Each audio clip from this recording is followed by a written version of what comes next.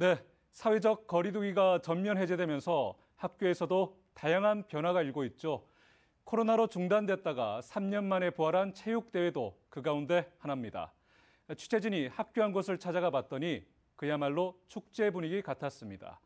특히 처음이자 마지막 체육대회를 맞은 고3 학생들의 심정은 남달랐습니다. 영관희 기자가 체육대회 현장을 다녀왔습니다. 대구 해화여고 전교생 750여 명이 모처럼 운동장에 모두 모였습니다.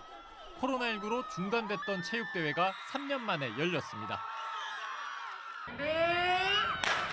1, 2, 3학년이 한 팀이 돼 줄다리기와 개주 등을 하면서 운동장은 학생들의 열기로 달아오릅니다.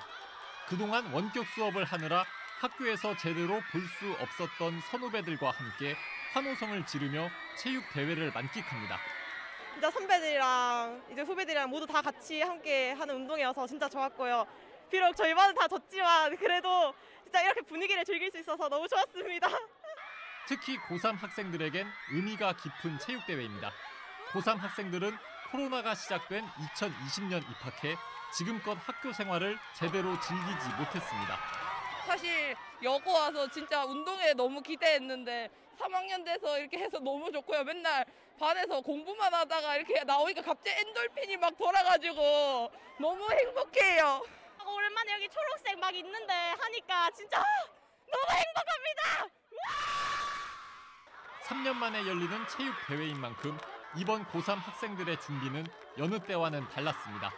마스크 때문에 소통 단절 그런 걸로 속상한 친구들이 많았는데 어, 물론 아직도 제약은 많지만 그래도 조금이나마 이렇게 추진할 수 있어서 조금 소통의 장을 마련할 수 있게 돼서 너무 좋습니다.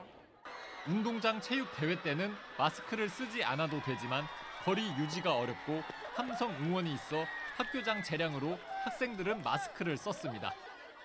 새로운 방역 수칙에도 아쉽게도 마스크를 써야 했지만 학생들은 오랜만에 열린 체육 대회를 설레하고 마음껏 즐겼습니다. 학생들은 입학 뒤 처음 맞는 체육대회를 소중히 간직하려는 듯 단체 사진을 찍으며 기록으로 남겼습니다. 처음이자 마지막 체육대회잖아요. 그래서 최대한 즐기고 가려고요. 대구 초중고등학교 여러 곳도 올해 체육대회를 개최했거나 하려고 준비 중입니다. 조금씩 학교는 코로나 이후 시대 모습을 찾아가고 있습니다. MBC 뉴스 양관입니다.